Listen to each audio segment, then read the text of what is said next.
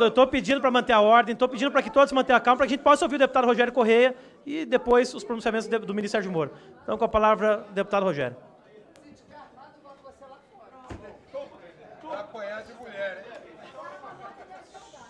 E o Dallagnol disse: liguei e ele arriou. E combinaram fazer denúncia apócrifa, juiz e promotor. Isso é conluio. Isso é o fim do mundo, ou é trivial? E o senhor disse: a pessoa estaria disposta a prestar informação. E eu estou repassando, a fonte é séria. Isso é papel de juiz? A Folha trouxe o caso do Léo Pinheiro. E no diálogo ficou claro que não tinham provas. Apenas no interrogatório a você. Aí, você tirou de 26 anos e meio, vocês, de cadeia para ele, para dois e meio, com direito a domiciliar e patrimônio.